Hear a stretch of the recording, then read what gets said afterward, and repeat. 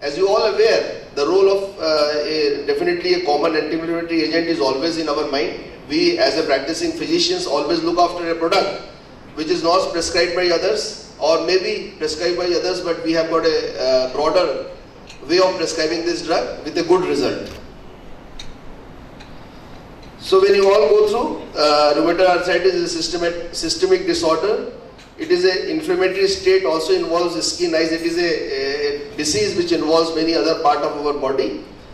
It is a, having a fluctuating clinical course, as we have all experienced. When we see our patient of uh, rheumatoid arthritis, the presentation is different. Sometimes it is monoarticular, sometimes it is polyarticular.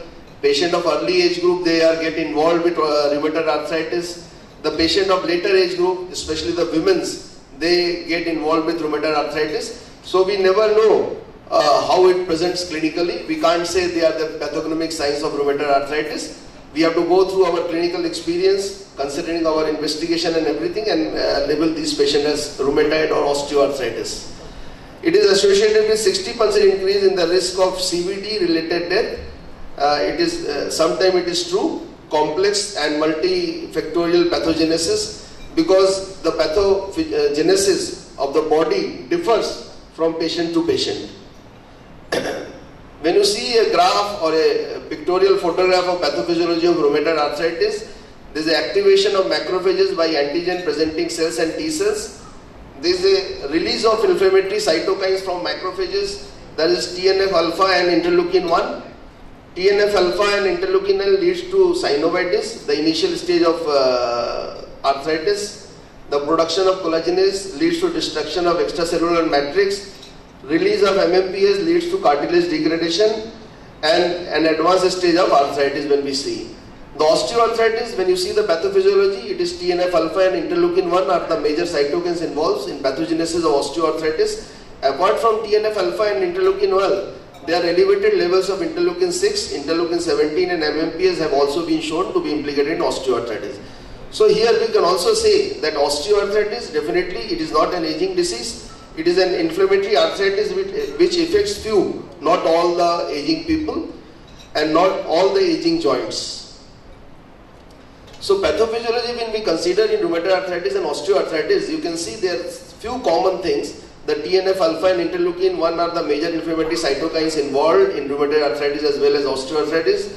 Release of these inflammatory cytokines is regulated by nuclear factor kappa B NFKB. This is an important diagnostic thing which has come now with the help of our uh, pathophysiologists. They have found out that is a nuclear factor kappa that is NFKB is a very important diagnostic uh, factor which is available in common of patients of osteoarthritis and rheumatoid arthritis and this is a very important uh, tool to diagnose all these patients and to aim our uh, treatment for all these patients. So NFKB is a transcription factor present in all cells. NFKB plays an essential role in inflammatory and immune responses. So when we see all this, there is a inflammation is always not on. It is only the presence of nuclear factor kappa B which modulates the inflammation on and off factor. So in many patients, if the nuclear factor kappa is, is, uh, is present, the inflammation gets on and it causes the symptoms of rheumatoid or osteoarthritis.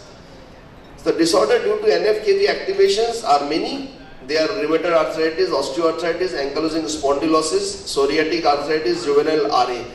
They are always present with in our clinical practices and we aim to see all these patients and diagnose properly. So the NFKB is the master switch of inflammation which we have to always keep in mind. So activation of NFKB whenever it is there it causes the inflammatory stimuli, it stimulates TNF alpha and interleukin 1 and many other cells and activation of NFKB itself causes, causes translocation into nucleus.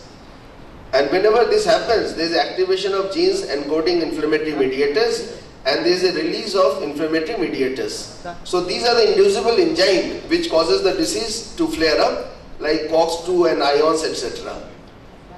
So what is the outcome of NFKB activation is basically the synovial membrane which gets inflamed. If the synovitis is uh, sustained for a longer duration of time, there is a this CRP is causing some inflammation in the connective tissues. So whenever the curcumin was prescribed to all these patients, there was 52% reduction in CRP level with curcumin. It is effective and safe in patient with active rheumatoid arthritis. So it has got a potent anti-inflammatory action. When we see the evidence too, how the curcumin is uh, active in uh, rheumatoid arthritis, there was a pilot study which was done in 18 patients and they were treated for two weeks and the curcumin improved joint swelling, morning stiffness and walking time. Curcumin was very well tolerated with better GI tolerability.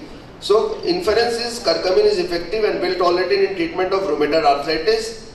When you see curcumin in osteoarthritis, there was a clinical trial of curcumin monotherapy. Only curcumin was used alone for all these active patients of 820, 820 number of osteoarthritic patients attending outpatient clinics were treated with curcumin for 6 months. And it has, it has been found that there is a significant improvement of pain, improved joint flexibility, better quality of life and 50% of patients were able to discontinue use of NSAIDs and analgesics. They were initially given some of the analgesic or NSAIDs, but later when we see the uh, rising titer of curcumin, definitely take care of all your analgesia you have to discontinue the NSAIDs or it is not required at all. Similarly, in osteoarthritis, there was 367 primary cases of osteoarthritis with a pain score of uh, less than 5 were randomized to receive. There was a, uh, they were all treated and titrated with WOMAC pain scale and it has been found that curcumin is an effective as NSAID but has better GI tolerability. This is also important.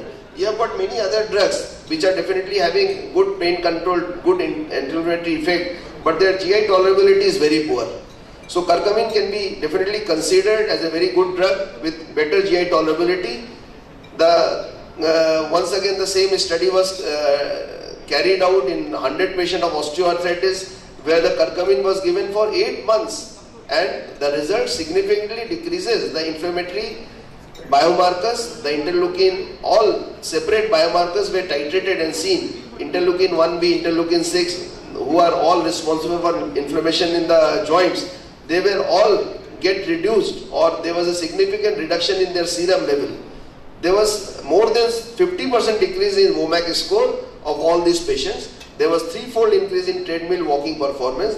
These patients were put into exercises tolerance and it was seen that they can definitely do a good treadmill exercises. So curcumin is effective and safe for the long-term management of osteoarthritis, what we normally uh, plan for. We definitely plan for a drug which can be given for a longer time, having a good uh, tolerability, no side effect, can be taken alone or with uh, some NSAIDs and curcumin definitely uh, signifies its presence. Curcumin was also uh, used with diclofenac. There were another study which says there was 88 patients which were given uh, diclofenac uh, with curcumin for 3 months as, as compared to diclofenac monotherapy, the combination of curcumin with diclofenac was uh, associated with greater pain relief. There was a great, particularly useful option in following group of patients like the patient who are intolerant to NSAIDs, steroids and DMARDs because whenever the patient comes to a specialist, he has already consumed many of the NSAIDs, having a lot of gastritis and other disorder. You need to choose your patient in a very uh, particular or a precise way so this curcumin therapy will definitely going to help all these disabled or hepatic dysfunction, kidney dysfunction patient can be greatly prescribed these drugs even with the patient uh, of the patient of CV disorder, hypertension and CHF, we can definitely consider this uh, curcumin therapy. So if it is effective, safe and well tolerated treatment options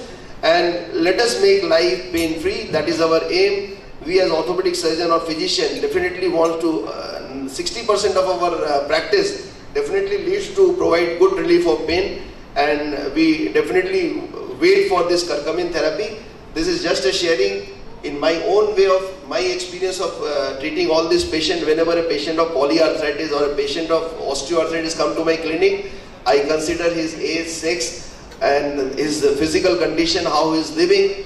I go through a arthritis profile I do my uh, weight bearing x-rays of joint to see the osteoarthritis, prescribe the drug which is definitely suitable to him or considering his physical fitness or uh, tolerability to drug, I plan my therapy. I go for uh, lifestyle modification and uh, definitely ask my patient to do a lot of physiotherapy, go for, for, go for some physical therapy treatment and try to prescribe drugs which are well tolerated. So definitely as a clinical physician, I wait for these drugs to arrive. Curcumin is a definitely a good drug and we all wait for this.